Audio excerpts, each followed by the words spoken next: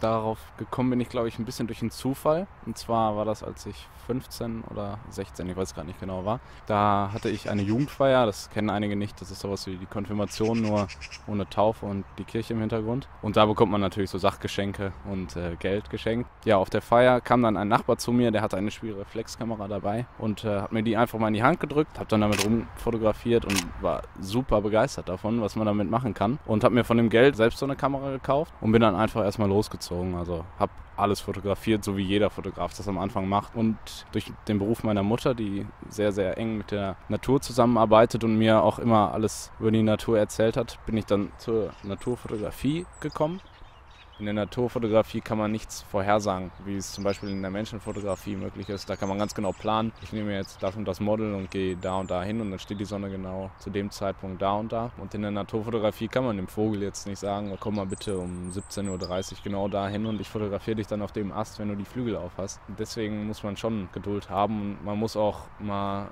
Niederlagen einstecken können.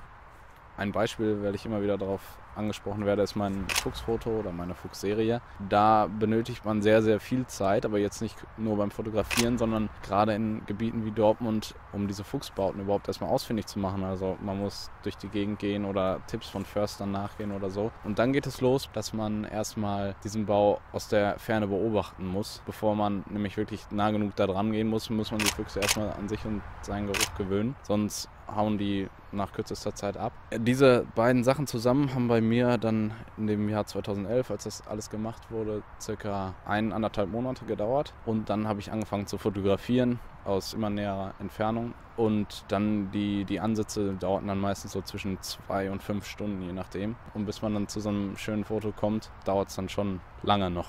Also braucht man schon Geduld. Ich glaube, dass man mit der Naturfotografie eine sehr gute Möglichkeit hat, Menschen auf die Schönheit der Natur aufmerksam zu machen, die ähm, beispielsweise überhaupt keine Ahnung haben, dass seltene Vogel- oder Tierarten direkt bei ihnen um die Ecke vorkommen. Und das ist für mich ein, ein großer Aspekt der Naturfotografie im Ruhrgebiet, wo ja super viele Menschen leben. Man stellt sich das so vor, dass, wenn man hört, ja, ein Naturfotograf, 19 Jahre oder so, wahrscheinlich so ein ganz verschrobener, der irgendwie lichtscheu ist und irgendwo in der Natur in, einem, in einer Holzhütte wohnt oder so. Das ist so, dass man schon mit sich alleine klarkommen muss, natürlich. Es darf einem jetzt nicht langweilig werden, wenn man einfach irgendwo in der Natur sitzt. Es ist jetzt aber auch nicht so, dass ich die äh, Nähe von Menschen verabscheue oder so. Also, das ist totaler Quatsch. Das ist ein anderes Hobby von mir, Partys organisieren, größere.